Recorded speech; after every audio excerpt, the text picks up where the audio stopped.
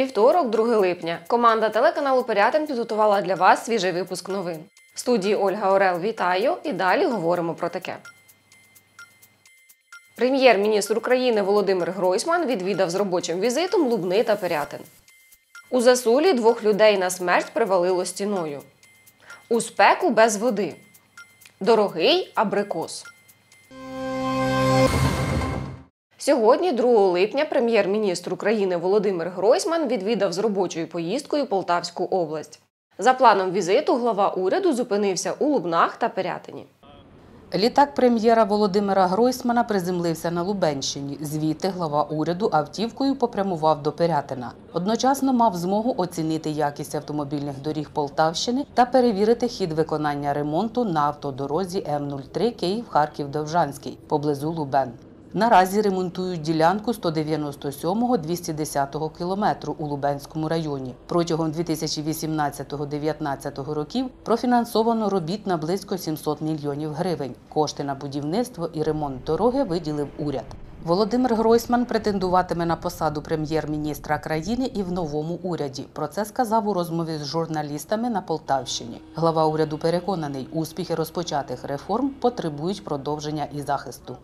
Я як прем'єр-міністр для мене надзвичайно важливо будувати і створювати, тому ми розпочали вирішення ряд проблем, зокрема і інфраструктури, будівництва доріг. І в принципі цей процес тепер треба тільки розвивати і зберігати. Я завжди звик будувати і створювати, але є і ті, хто а, звикли руйнувати. Тому я вважаю, що наш ворог сьогодні залишається незмінним. Це безвідповідальна політика. Це популісти, які розповідають, але на превеликий жаль не можуть виконувати свої обіцянки. І тому е, моє завдання сьогодні і в уряді, і е, в майбутньому, і в тому числі е, нашою командою в парламенті у разі підтримки українцями, ми будемо захищати кожну зміну. Ми хочемо завершити все те, що ми розпочали, і в освіті, і в медицині, і в інфраструктурі. Нам потрібно далі концентруватись на зростанні національної економіки. Доброго дня! Здравствуйте. Пане голово. Да. Порядинського району.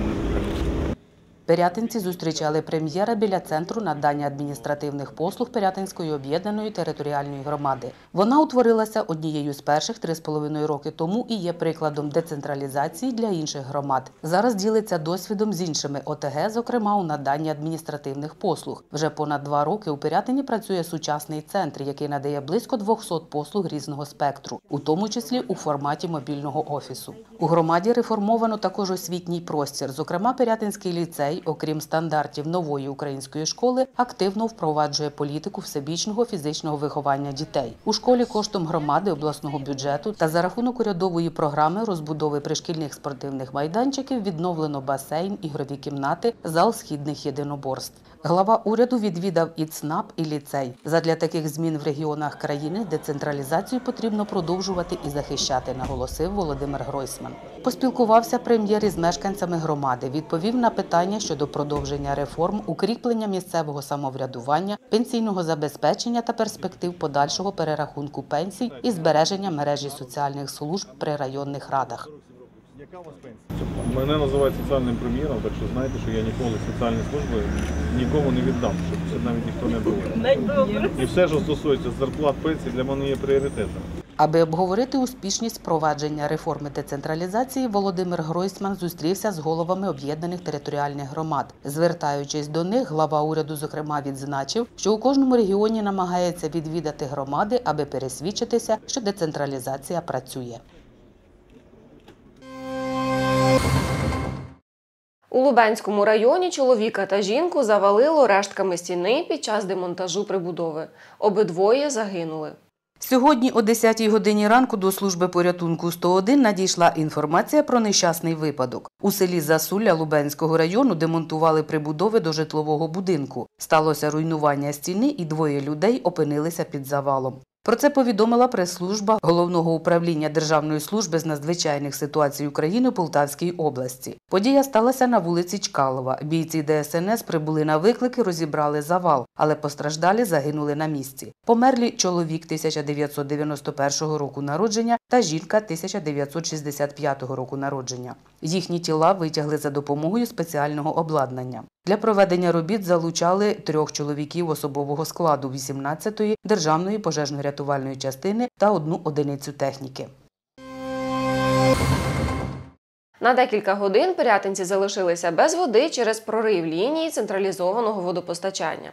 За останні два дні сталося чотири прориви у Пирятині. Близько 11 години дня по вулиці Січових стрільців стався порив лінії централізованого водопостачання. Причиною пориву став гідроудар. На місце аварії прибули працівники комунального підприємства Пирятинський міський водоканал. Аби знайти пошкоджену ділянку на трубопроводі, працівникам довелося на декілька годин припинити водопостачання. Відкачали воду, знайшли несправність та почали ліквідувати аварію.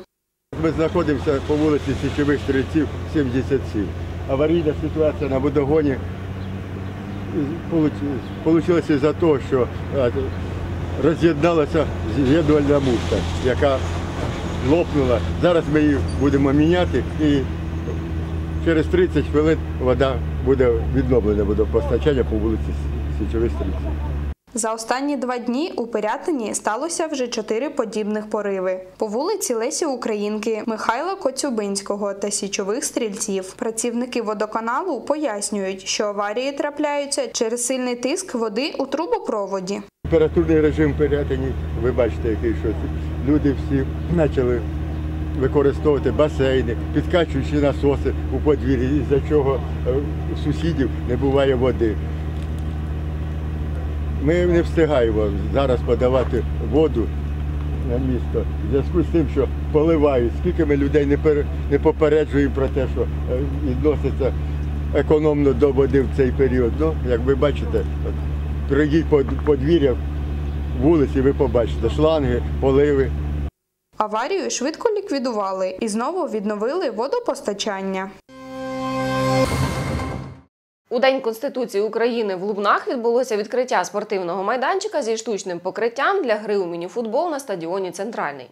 Це один із трьох майданчиків, які будуються у місті. Другий на вулиці Грушевського і ще один на території загальноосвітньої школи номер 6. На будівництво майданчика з міського бюджету було витрачено 2 мільйони 727 тисяч гривень. Підрядники, працівники стадіону Центральний працювали майже рік. Лубнобрук встановив безкоштовно вхід на територію. Лісотехнічний коледж допоміг у облаштуванні огорожі. Підприємство ПП Михайленко передало сітку для того, щоб м'ячі не вилітали за межі майданчика. Пізніше територія буде підключена до вуличного освітлення, щоб можна було займатися спортом у вечірній час. На майданчику зібралися представники спорту міста, юні футболісти, які мали зіграти перший матч. Міський голова Олександр Грицаєнко закликав берегти майданчик, адже штучне покриття має термін експлуатації 15 років. І додав, що на сусідньому майданчику наступного року має з'явитися тенісний корт, трибуна і зони для силових тренажерів. Крім того, очільник міста нагадав, що з міського бюджету на підтримку спортсменів було виділено понад 150 тисяч гривень. Сьогодні і погода сприяє для того, щоб ми провели чудовий спортивний матч відкриття спортивного майданчика на стадіоні Центральний. Це один з трьох, який на сьогодні будується в нашому місті.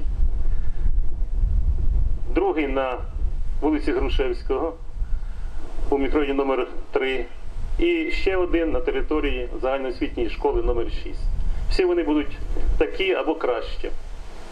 Безумовно, для того, щоб цей майданчик такий був, були витрачені кошти із Лубенської міської ради.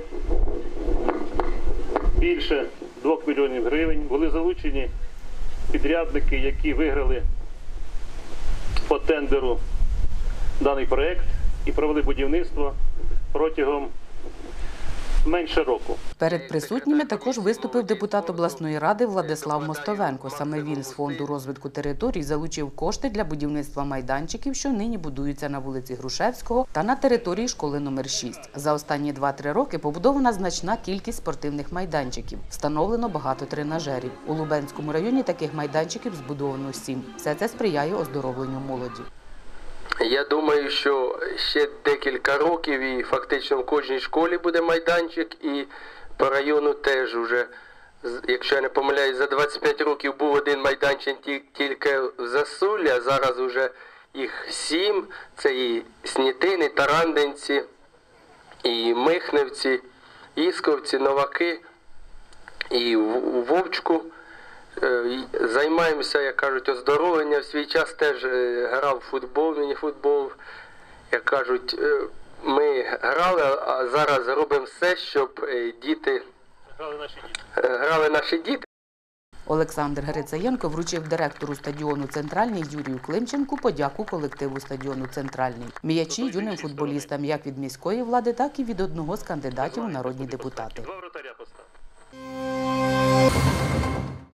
На Полтавщині надзвичайний рівень пожежної небезпеки. Рятувальники попереджають про зіпсування погоди і шквальний вітер з 1 по 5 липня. У зв'язку з погодними умовами на Полтавщині виникають ризики пожеж. За останньою інформацією, за минулу добу виникло вже 6. За прогнозами Укргідрометцентру, з 1 по 5 липня в Полтавській області надзвичайний рівень пожежної небезпеки 5 класу. Рятувальники нагадують, що протягом пожежонебезпечного періоду забороняється відвідувати хвойні ліси, розводити багаття у лісі та лісопосадках, створювати смітники та спалювати відходи, спалювати стерню та післяжнивні залишки на сільськогосподарських полях. За даними Укргідрометцентру, погодні умови будуть потенційно небезпечні для населення, інфраструктури та навколишнього природнього середовища. Синоптики рекомендують зберігати підвищену уважність та обережність, слідкувати за повідомленнями про можливе подальше ускладнення погодних умов. Як повідомляє Уніан, сьогодні на Полтавщині температура підійматиметься до плюс 30 градусів. Також можливі шквали від 20 до 30 метрів на секунду. Зросли пенсії, дорогі абрикоси і газ дешевшає. Економічні новини від Валентини Орлатої. Українці можуть тимчасово змінити місце голосування на позачергових виборах до Верховної Ради без зміни виборчої адреси. Для цього необхідно подати у відповідний орган ведення державного реєстру виборців письмову заяву, показати паспорт громадянина України або тимчасове посвідчення громадянина, посвідчення військовослужбовця або військовий квиток, подати заяву про тимчасову зміну місця голосування до органу ведення державного реєстру виборців. Можливо, не пізніше ніж за 5 днів до голосування на позачергових виборах народних депутатів України 21 липня 2019 року, тобто до 15 липня включно. За даними Державного реєстру виборців, станом на 30 червня місце голосування перед позачерговими парламентськими виборами в Україні змінило понад 26 тисяч українців.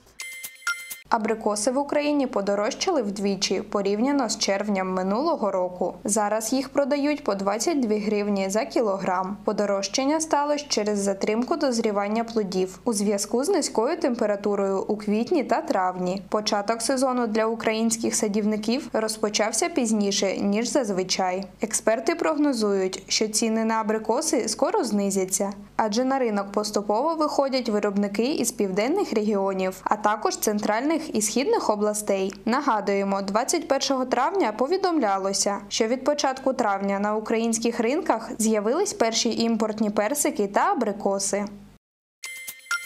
Із липня в Україні пенсії зростуть для громадян із великим трудовим стажем, але невеликою зарплатою, що мали під час роботи. Підвищення отримують 2,5 мільйони осіб. Йдеться про жінок зі стажем понад 30 років, чоловіків більше 35 років. Для них пенсія становитиме не менш як 2 тисячі гривень. Це вже п'ятий перерахунок пенсій із жовтня 2017 року. Тоді в Україні розпочали пенсійну реформу. Гроші для підвищення пенсії є на казначейських рахунках у півтора-два рази більше залишків ніж було на цей час торік. Існуючих податків недостатньо, щоб кардинально змінити ситуацію.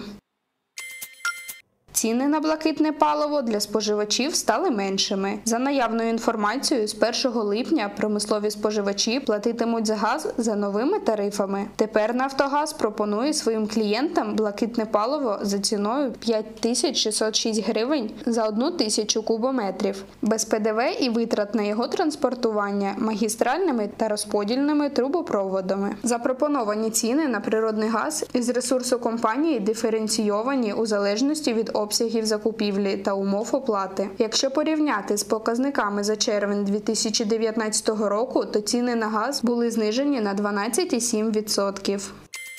На вівторок, 2 липня, Національний банк України встановив офіційний курс гривні щодо американського долара та євро. Згідно з офіційними даними НБУ, як американська валюта трохи додала у ціні, натомість європейська несуттєво подешевшала. Відповідно до даних Державного регуляторного органу, 2 липня ціна американського долара становитиме 26 гривень 21 копійку. Якщо порівняти з курсом попереднього банківського дня, то зелений додав у ціні 4 копійки. Щодо євро, то він навпаки подешевшав і також не суттєво мінус 2 копійки. Відтак, у вівторок європейська валюта коштуватиме 29 гривень 74 копійки. На цьому у нас все. Бережіть себе та рідних. На все добре.